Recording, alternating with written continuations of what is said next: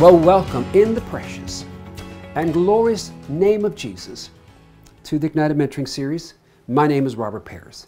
In this episode, we're talking about our desperate need to come and receive the waters, that living water that Jesus gives, that so nourishes, so ministers to us.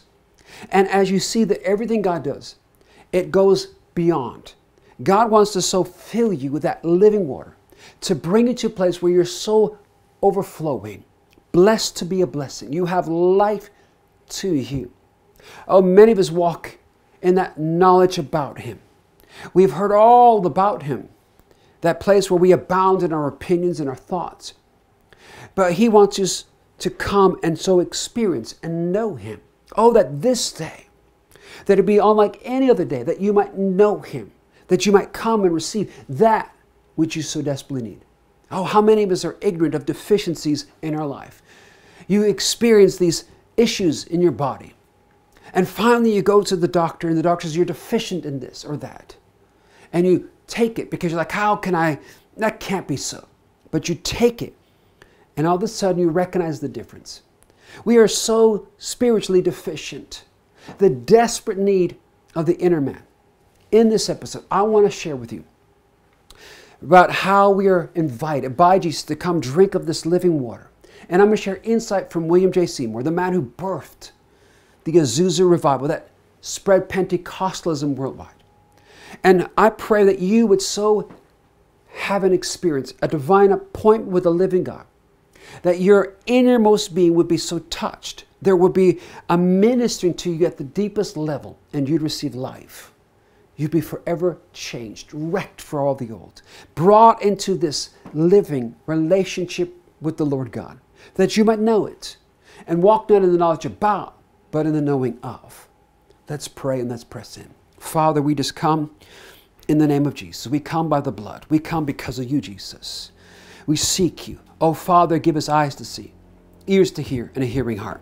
And pour in us a thirst, a desperation for you, Jesus. We give you honor, Jesus. We give you worship. We give you praise. And I thank you, Holy Spirit, so move amongst us.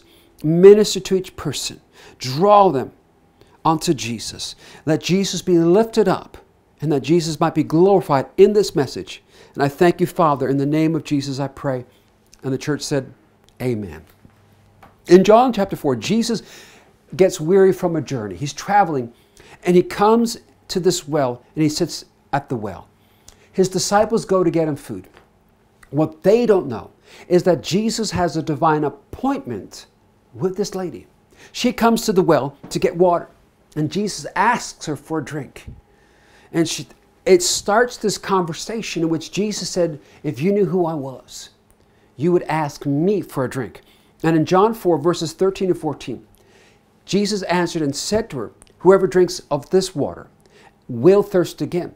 But whoever drinks of the water that I shall give him will never thirst. But the water that I shall give him will become in him a fountain of water, springing up to everlasting life. There's something about what Jesus does in you that causes not just that place where that deep need of our inner being is met, but there's a flowing, there is a pouring in to the place of abundance pouring out, where you are so blessed with life that now it pours out of you. You're living. Oh, God wants to bring you to a place where you are now truly alive, living in Him, abiding in Him.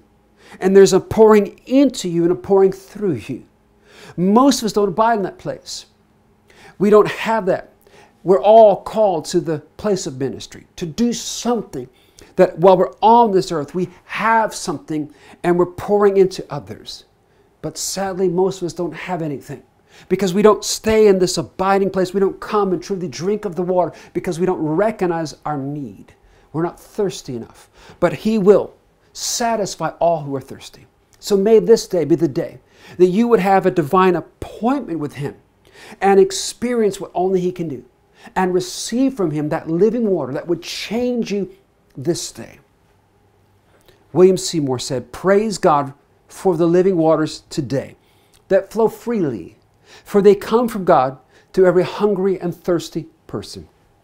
That's what God desires. God wants, see, Azusa and all those re- revivals were times where God just so poured out, so drenched, so filled the place with that water that all who were thirsty would receive. But if this day we will draw a circle around ourselves and come and say, God, I'm desperate for you. I'm thirsting for you. I cry out, and that desperation has to give him the time, the place. We have to be willing to seek him diligently until he meets with us, to hold on and cling and say, God, you have as long as you need because I trust that you are. I need you and I must have you. I must have that water that only you can give. And we must come and cling until he gives, until he pours in. Oh, so many quit so early because they've lost sight of who he is. This woman had to get the revelation of who Jesus was. Initially, all she saw him was a man, a Jew. And she was offended at him for being a Jew because she thought she had confidence in her traditions. And she believed that based on the traditions of her father, that she was good. And many of us walk in the place of our traditions, the traditions that have been passed down, the legacy, and that we walk and go in these buildings that have heritage and history, and we boast in that. But we're not living in the abiding. We're not drinking of the waters.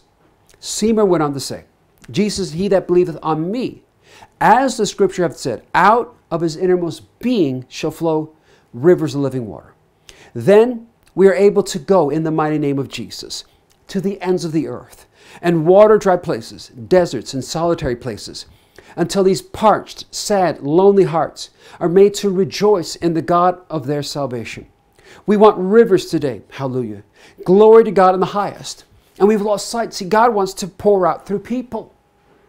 I got many people that come and say, Oh, I don't need pastors and teachers. God uses people, and God wants to use you.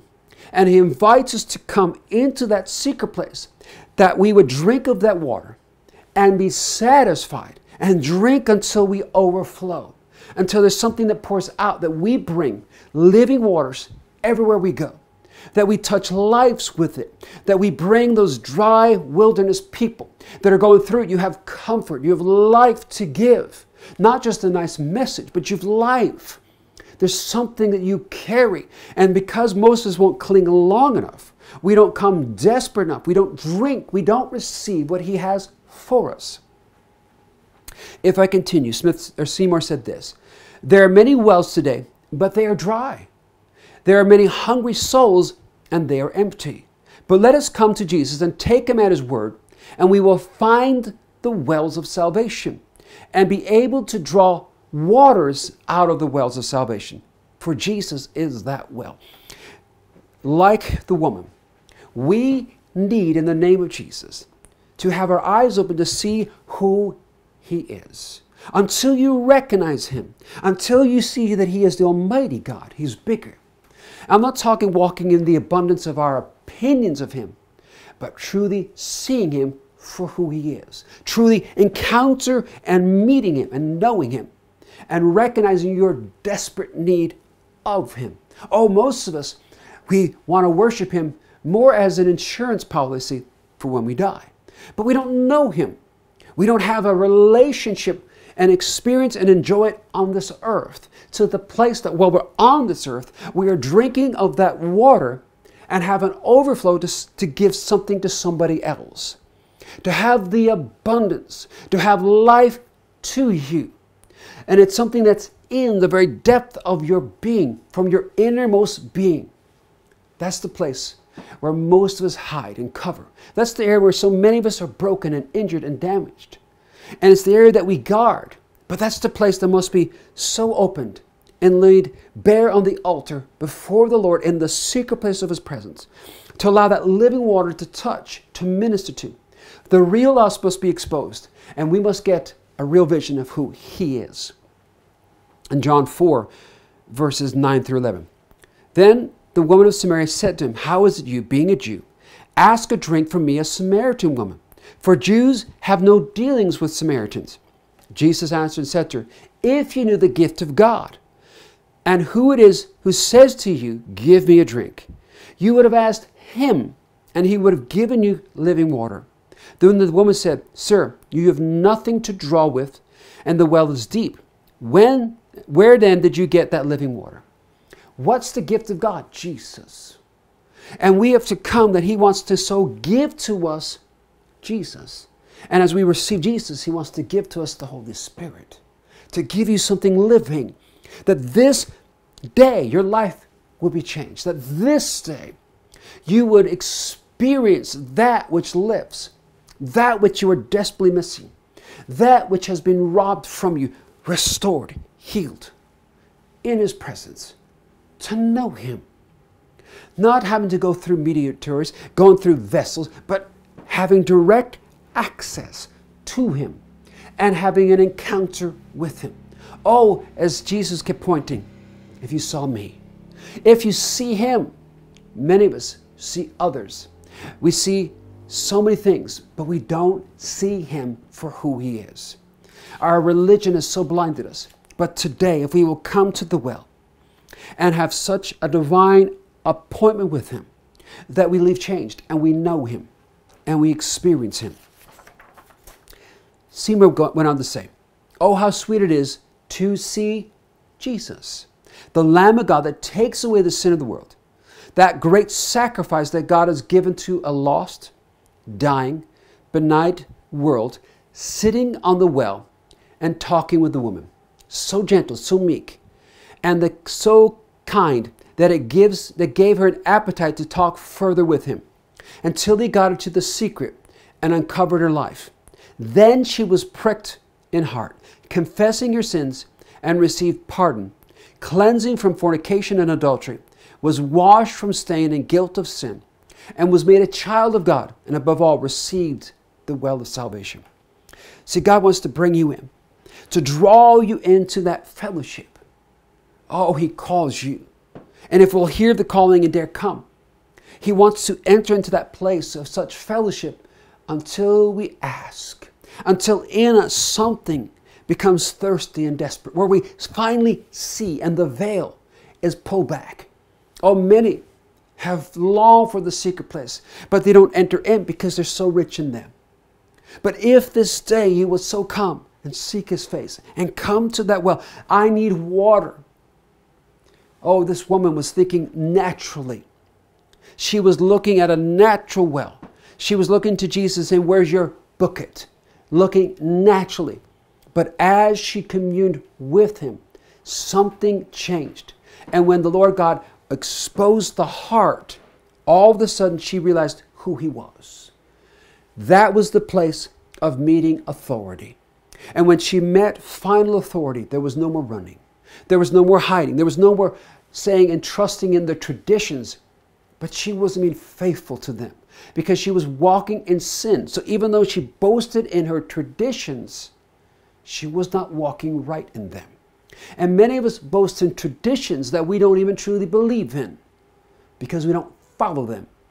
And Jesus will so expose us and reveal to us these issues of the heart that must be laid on the altar, that must be crucified, that must come to an end, that we might see Him, that we might recognize we need Him, that you would come and drink. Seymour went on to say, when she got it, her heart was so filled with love that she could take in a whole lost world. She ran away with a well of salvation and left the old water pot on the well. She went telling everyone. She went and had such an impact. And I think of how not long later afterwards, Philip would come to the very place and have such a revival. And I wonder how much of it came because of this woman who got something that day and brought the revelation. Stop looking to the traditions of the Father and look to Jesus. Stop looking to our self and our opinions and look to Jesus. It's in that reckless abandonment. Oh, that this day the Holy Spirit would open your eyes. This day you would so meet with Him. This day you would have that fellowship. But listen, it takes this time. We come and we seek His face. Don't quit until your eyes are open. Don't quit. He had to get her into this communion with Him, in this fellowship. And as they talked, it went from being natural till He lifted her and got her to see the spiritual, to see who He was. And He will do the same with you. He will meet with you and begin to lift you. Begins open your eyes. Oh, would you give Him the time? Would you give Him the time and the place to allow Him to work on you this day and to stir in you such a thirst where you realize you desperately need Him? Seymour said, Jesus' promises are true and sure. The woman said to him, after he had uncovered her secret, Sir, I perceive you are a prophet. Yes, he was a prophet. He was the great prophet that Moses has said, Lord, would raise you. He is here today. We will be taught of that prophet. We will hear him. Let us accept him in all his fullness. May we realize who Jesus is. We need to get a revelation this day of who he is. Oh, Holy Spirit, open our eyes to see, our ears to hear, and give us a revelation of Jesus, of truly what he did on the cross, of what price he paid for us. And let us realize how precious we are to him and our absolute need of him and how he calls to us. He's crying out to us this day. And let us hear that voice. And let us run to him and not from him. Oh, we need him. Oh, touch us in a way that only you can. Wreck us with your love. Father, let us be soft this day. Let every deception of the enemy be hindered and stopped, and let this be a day of divine appointment with the living God. To come to those wells. I thank you, Father. I thank you, Father. We glorify you, Jesus. We just honor you, Jesus. We lift you up. Jesus, you are everything. You alone are Lord. We bless your name. We bless your name, Jesus. I thank you, Holy Spirit. I thank you, Father God. I thank you. I thank you. Seymour said, So the same commission comes to us. We find that they obeyed his commission and were all filled with the Holy Ghost on the day of Pentecost. Standing up, Peter said, This is that which was spoken by the prophet Joel. Dear loved ones, we preach the same sermon. The God who is the same, the God who does not change, wants to meet with you. The God who came and moved among the apostles and the early church here wanted to meet and move amongst you.